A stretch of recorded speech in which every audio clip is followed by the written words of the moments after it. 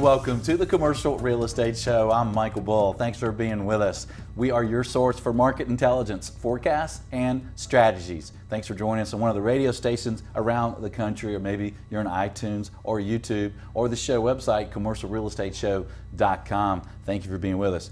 We have an incredible show for you today. We're talk about something that's very interesting to people all around the country. That's adaptive reuse. Know, you think about it today, there's a lot of development, there's a lot of mixed use development that's involving adaptive reuse. Um, there's a lot of advantages and some disadvantages to adaptive reuse. So we're going to look at it from all sides, from an architect's view, from a developer's view, uh, from an investor, uh, a tenant. Uh, maybe you want to buy or lease an adaptive reuse project you want to know all the ins and outs. We're going to cover that today. And please welcome my first guest. It's Bruce McEvoy. He's an architect with Perkins Will. Now, Perkins Will was founded in 1935, and they have 24 offices all around the world, and they've been real active with adaptive use reuse projects. And Bruce, thanks for joining us here in Studio One. Thank you, Michael. It's great to be here again. Well, we appreciate it. And uh, first of all, you know, why adaptive reuse? I mean, it's easier, there's more knowns and just building a new structure, right? Yeah. Uh, so yeah. why not get into the potential issues of adaptive reuse? Well, I think um, you know, there's it's definitely easier at times, but there's also an incredible building stock out there um, that's kind of at either end of its life, or maybe some of these buildings are just tired. They've been kind of left to history. They're forgotten. Um, and it's a great way to jump into a new project sometimes, given um, the existing bones of that building. Um, there's also just a really interesting part uh, and a sense of history and patina to these buildings. Um, all across America, we have these old industrial corridors, and it seems like more and more there's discussion about how to reclaim this space in our cities. Um, naturally, when you do that, that existing building stock, which is usually pretty stout, um, pretty great construction from a long time ago, um, has tremendous potential for all sorts of uses today. So what makes a good property or a good building for adaptive reuse? It seems some buildings uh, are better than others, right? Absolutely. Um, I think one thing you have to do is you really have to do your homework on these projects. You really have to do um, a little bit of forensics, get in there and, and find out what these buildings were, what their life was, and, um, and what the existing condition is. There's all sorts of implications. You can have um, environmental issues, um, say if it was part of an industrial process. Um, structurally, you want to check those out and, and mesh that with probably future use and what sort of occupancy you're going to put in there. Um, there's all sorts of issues, and also um, a lot of times these projects have tremendous uh, connectivity with what's going on in a city. So uh, these reclaimed corridors that I was talking about earlier with uh, with uh, the urban fabric can be something that's that's a tremendous asset to the city. But again, you really want to know what you're getting into, understand sort of what the actual base building is and what it's capable of before you try and start one of these projects. Yeah, and it's uh, some of that history is really what makes these projects so impactful, right? I mean, it's like the millennials and I guess everyone likes to be in cool space. Absolutely, and there's this it's always been there with placemaking, but this notion of authenticity and sort of a history, a real patina that um, you can't you can't design, you can't make. I mean, we people try and faux that every now and then, right. and um, it always comes off uh, pretty insincere. And I think people, whether they know it or not, are very good judges of that, and they they see right through it. So. I think some of these older projects bring something that you just can't make, right? You can't make history in a passage of time. Right. And what about the municipalities? Where these projects are located? Is, is are do, do, most of them like seeing these buildings redeveloped, and are they helpful when it comes to um, getting permits and, and getting approvals? Yeah, yeah. Depending on where they are, I think in general, cities love to see these projects kind of reclaimed. Um, there can be all sorts of incentive-based uh, things, everything from from taxes to accelerated permitting to um, when you get into brownfield sites, there can be all sorts of federal credits with that. So I think again, it's something you want to research on the front end. I don't think that's the reason to do it, but usually there's tremendous support for these projects because of, again, these are blighted areas usually or forgotten buildings. And, and uh, it, when you think about the urban fabric, if you can bring one of those buildings back to life, that's a whole new thriving part of the city plus tax base for wherever it happens to be.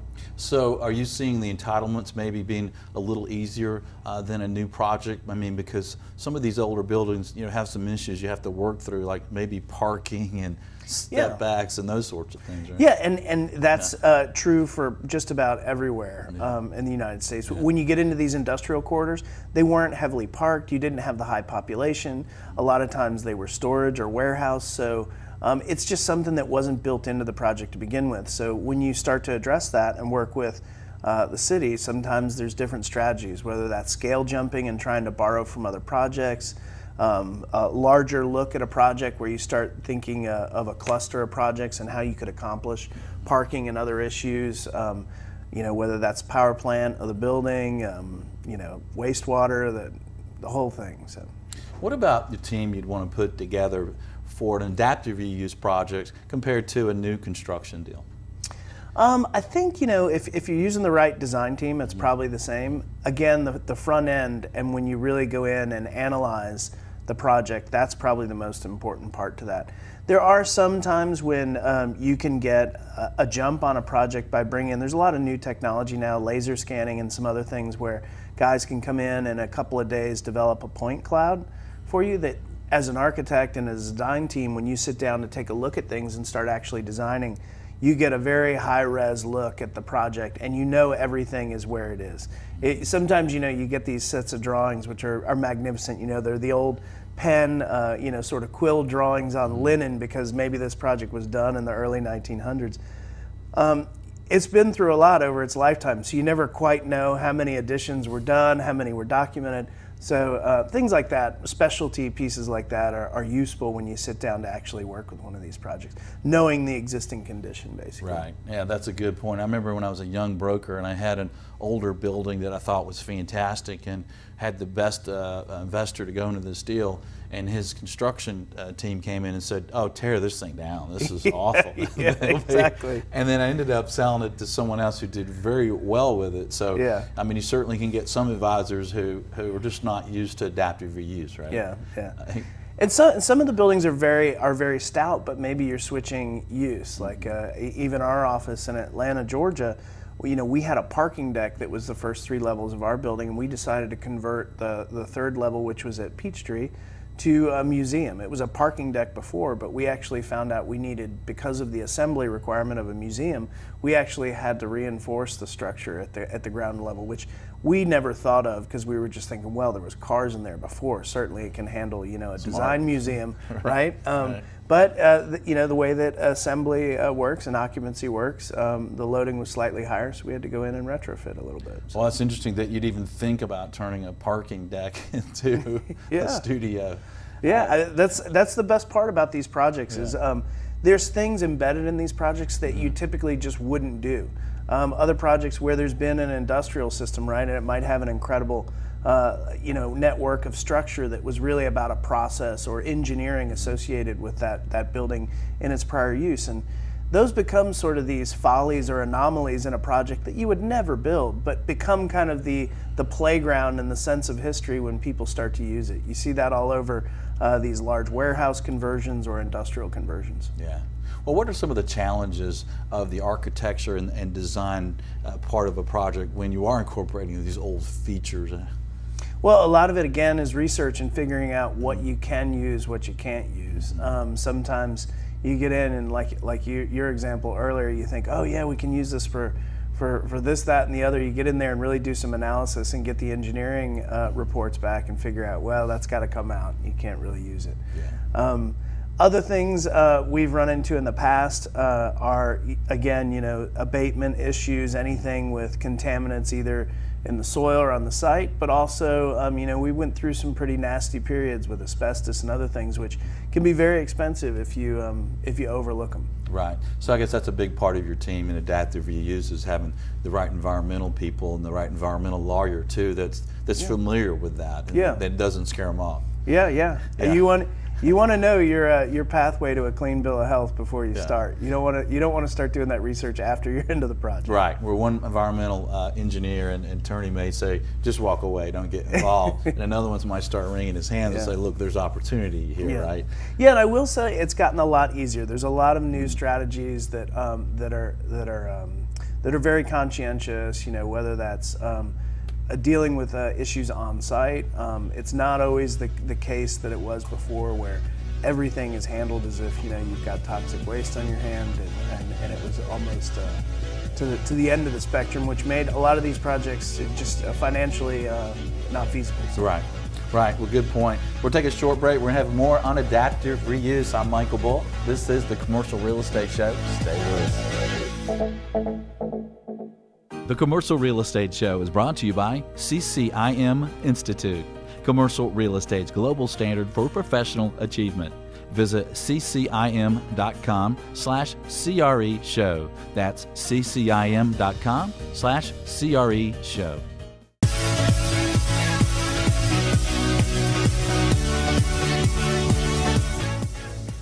Welcome back. I'm Michael Bull. You're listening to the Commercial Real Estate Show, or maybe you're watching. We're talking about adaptive reuse with Bruce McEvoy with Perkins Will. And Bruce, what advice would you give to people who are considering their first adaptive reuse project?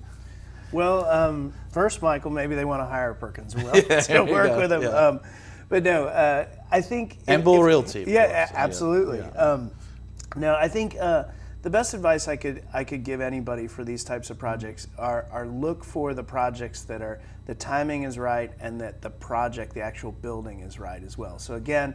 That goes back to the research, but also I think you can really look into a city, um, sort of see the fabric, see where it's growing, and these um, some and then there's kind of two types of these projects the way i think of it is sometimes it's these industrial corridors where the building is much much older uh, but that's part of the city is either going through a transformation or has been left to kind of sit for a while but there's also another type of adaptive reuse you know which is these uh, 80s office buildings that are kind of you know have fallen down through the tiers of, of different sort of ratings and and they're kind of forgotten buildings in the urban fabric um, those buildings are extremely valuable in the sense uh, if you can get in there and figure out again what's inside the building, what you have to deal with when you get there. That's a that's a nice sort of jump start to a project. Right. That's a good. And, and you guys did that recently uh, with a building. And, uh, you know, it's interesting though, sometimes see, people see an 80s office building, and but you guys, you know, what could you do with that thing? Uh, Yeah. But you guys had the vision. Yeah. Well, again, going back to the bones of the project, which is usually where I start. Um, the, the building you- you're referencing is in Atlanta, and that project was fantastic. It had a, a column free space, a 64 foot free span, done by a, a, a talented architect here in Atlanta. Um, and we came in and basically tore it down to its bones and, and kind of redid the whole thing. Um, it, it ended up being uh, one of the highest rated LEED Platinum buildings in the world when it was finished. Um, and really, uh, you know, it had a, an existing library in it, which we kept, and we closed down sort of the base, which was, uh, you know, it, the the trend, the urban condition around the building had completely changed. It had sort of a, a very residential horseshoe driveway, and on Peachtree Street was uh, was basically parking. So, in closing that and turning that into retail, or in this case, uh, it ended up being the Museum of Design Atlanta um, really contributed back to the urban fabric and, and something that probably wasn't quite there in 86 when that building was done. Right. So um, a lot of it, a lot of this is timing too. Um, You know, some buildings are just ready. Right. Well, I think a lot of people have found out the you know, the saying is the most important thing in real estate is location, location, location. But Yeah. I think a lot of people have found out timing, Timing, timing, timing. is also Yeah. very important. Completely agree. And how did you find the end users uh, appeal towards your projects and the other projects you, you worked on? Are the are the tenants, the users, the occupiers? Uh, what do they think of these projects? Well, I think there's um, there's a real authenticity and sort of a again a patina to to these projects. There's a there's a tangible sense of history in these projects. Um, we don't we don't build the way that a lot of these projects were built. If it's one of the older projects or turn of the century projects, uh, there's just an incredible uh, incredible sense of of uh, of history there as you walk through these projects. And I think the people who do this well and what we try and do is add to that history. We try and layer on an architecture as opposed to sometimes you see these projects and it almost seems a little a little uh, molested or tortured when you go into it because everything they try and encapsulate everything and, and make a new building inside these things. One of the best assets and coolest parts about these projects really is that it's an old building and that's the part to be celebrated. You know, you can dial down the the design intensity of everything else and really um, celebrate this new use that's going on in an old factory, an old power plant, um, you know, an old an old ferry terminal. Mm-hmm. What do you say to clients who are interested in adaptive reuse, but they're a little afraid of the unknowns, and sometimes you know getting estimates of what this final project is going to cost seems a little difficult to them? Yeah, um, most of it on the front end again is that that analysis of what you're getting into, but there are going to be little things that come up. Um, I think you have to have a little bit of flexibility. We like to have a healthy contingency when we go into these projects, just for those unknowns. I mean, you start peeling back layers of time, and you never know what you have in there. Um, sometimes it might be a treasure. Sometimes it's something you got to deal with. So. Right yeah, you, you move this wall and you find out you've got something to deal with. So that's good advice. It's uh, like restoring an old car, right? right? You clean it too much, it yeah. might fall apart. yeah. So yeah, I have a good reserve number. Yeah. And you mentioned the, the ferry project, right? That you guys are involved in in San Francisco. Tell us about that. Yeah, um, Perkins and Will um, kind of repurposed and repositioned the ferry terminal, and that's just one of these projects that, again, a huge piece of infrastructure sitting there, great old building, and basically brought it back to life, and now it's a thriving part of, of San Francisco. And, and really, that was just the idea, again, of going in and, and embracing sort of the strengths of that old project and just giving it the attention it needed to kind of live again under a new purpose. And what is the purpose now? It's it's a thriving mixed use uh, ferry terminal now. So it basically you you go into it. It's a it's a great place to shop, to eat. There's restaurants. Um, it's fantastic. So how was the, the lease up on a project like that? Did uh, people? I know San Francisco is just a really hot market anyway, but were the tenants kind of clamoring to get in there? Yeah, yeah. It's um, again the the uniqueness of these projects is the other asset I think when you're done with them. Um, you know, you can go into sort of generic construction or or new construction, but then you're competing against every other new project that's coming to market with it. Um, these adaptive reuse projects have an inherent um, sort of cool factor to them that I think um, is becoming more and more popular. Again, because of the uniqueness, you can't you can't really uh, compete with that as a new project. If somebody, if that's what they want to do and where they're they're going, these anomalies and and uh, and sort of quirks of these projects actually become their value. Right. I mean, that's a good point. I mean, it has an identity, right? I know yeah. in a lot of new projects, you know, you're hiring a PR firm, you're trying to yeah. create a, a sense of, of place uh, from from scratch. Well, if you can say, well, it's the it's the old ferry terminal. Yeah. Oh, okay. Yeah. You, have already they already know. It already has a story. You're adding yeah. to it. So the richness of history there, and what you can um, what you can do with that, as opposed to sort of a manufactured brand that you're that you're kind of uh, trying to bring to market with uh, with that's only looking forward. Uh, these projects can look back as well. Yeah. Are you seeing a lot more velocity in your industry of adaptive reuse? I think so. I think um, I think the timing is right. Um, the market's good again. There seems to be a real um, across whether it's mixed use projects or office. You know, we saw the emergence of creative office um, in the last decade as well, where you know you saw major companies decide I don't want to go into a tower. I don't want to be in class off a class A office space. I'd rather have you know an old power plant. I'd rather have a warehouse, and I'd rather take take down 75,000 square feet on a single floor as opposed to the traditional 25.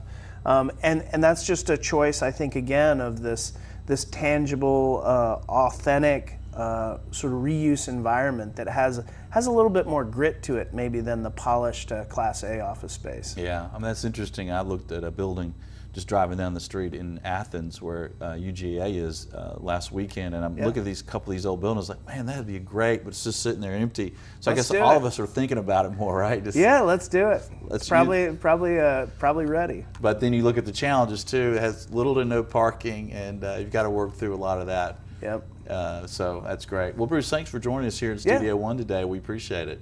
Appreciate it. Yeah. Great to be here. Thanks, Michael. Well, great. Well, stay tuned. We're going to have more on adaptive reuse. Um, we're going to talk to a developer that's been involved in several projects, and we'll hear from him about some of the, the ups and downs and things to watch out for in adaptive reuse. Remember to like us on Facebook and connect with us on LinkedIn and follow us on Twitter. We would like to hear from you. Visit our website, commercialrealestateshow.com. Stay tuned. More adaptive reuse right after this message. I'm Michael Bull. The Commercial Real Estate Show is brought to you by Bull Realty, commercial real estate asset and occupancy solutions. Visit bullrealty.com. CCIM Institute, commercial real estate's global standard for professional achievement. Visit ccim.com slash CRE show. Xceligent, providing verified commercial real estate information across the United States. Visit xceligent.com.